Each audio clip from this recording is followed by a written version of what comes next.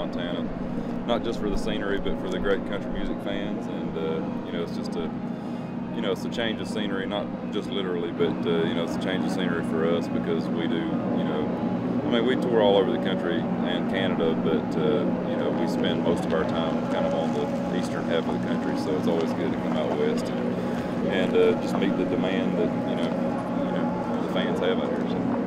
Um, the smaller venues are always fun because you you have a, an opportunity to really kind of connect with the crowd more so than you would in a big arena or, or stadium or anything. Um, don't get me wrong, the, the, the, large crowds are fun, but uh, you don't have that that intimacy and that, that connection that you normally would with a smaller venue. So uh, the smaller ones are always fun because you kind of give, you know, um, you kind of get a, a, different feel and, and, just feel closer to the fans, I guess. Well, for me personally, um, you know, I always hope that you know when people come to a Josh Turner concert that they leave feeling better than they did you know when they got here, and um, you know so I, I, want them to to leave here just uh, thinking about life differently. I want them to, to leave with a smile on their face, leaving uh, you know in, in, some ways kind of leaving wanting more um, and uh, wanting to, to you know see another Josh Turner concert and. Uh, wanting to go out and buy the record, just feeling inspired about themselves, about their life, and uh, their circumstances, and um, you know, so I try to I try to bring positivity and, and hope, you know, to people through my music. So, um, I think mostly my faith just comes through, you know, who I am and how I carry myself. Uh, you can hear it in my, in my music, but uh, you know, I'm not specifically singing about it in every song. Um, but I, I, think people can hear it in my voice, they can see it in my eyes, and um, you know, at least that's my hope.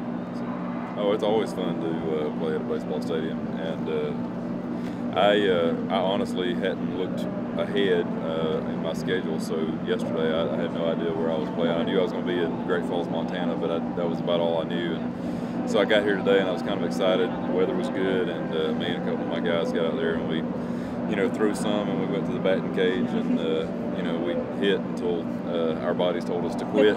um, so I'm probably going to be uh, waking up pretty stiff and sore in the morning. So um, you know, it, it, was fun today. Um, I don't remember much, honestly.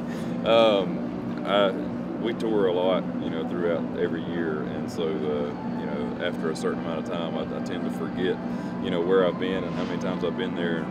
Uh, there was a time in my life where I could remember just about everything I had done, but uh, it seems like the more you do, the more you forget. So, uh, but yeah, I, I, always remember coming up here. The one thing I think I do remember from Great Falls was uh, wherever we played, the crowd was just crazy, wild.